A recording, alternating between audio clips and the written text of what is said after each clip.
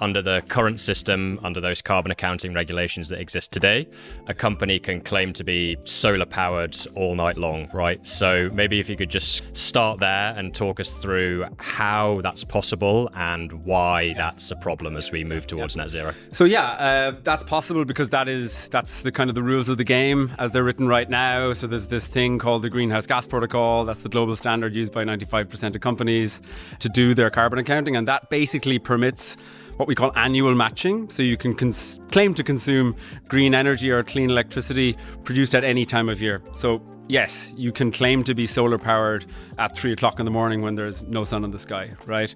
So that's that annual matching issue. Uh, there's another issue around how what we call like geographical matching or deliverability. So, like Europe, for example, is treated as one zone. So, my parents in Ireland uh, could buy electricity and that could be supplied to them uh, from Norway, and there could be a 100% renewable claim, or, or a data center in Ireland, right? Can buy certificates from Spain and be 100% renewable in Ireland, even though obviously you can't call up a power supplier in, in Spain and ask for electricity to be delivered to Ireland tomorrow. That would uh, raise a few questions, let's say. So we have this disconnect that, in my view, has to be solved.